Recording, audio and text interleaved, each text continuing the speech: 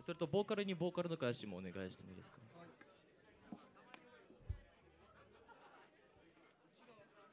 ああ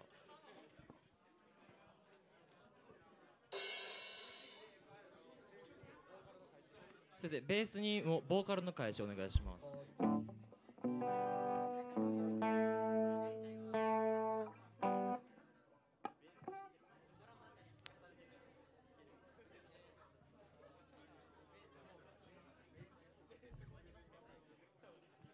OK でももうもうそのまま行く？ほ行って本番行く？じゃあ本番お願いします。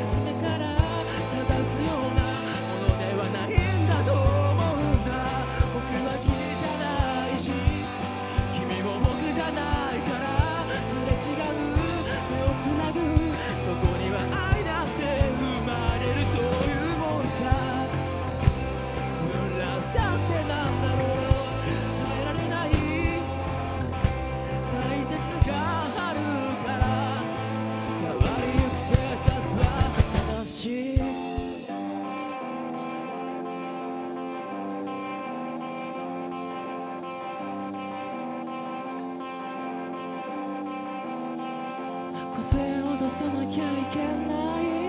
そういう流行りの向こうでどんなのに一歩引いた匿名希望の傍観者ちょっと待ってよ星空は変わらずあの日と同じだよ理解されずとも宝物は今でも宝物のはずでしょう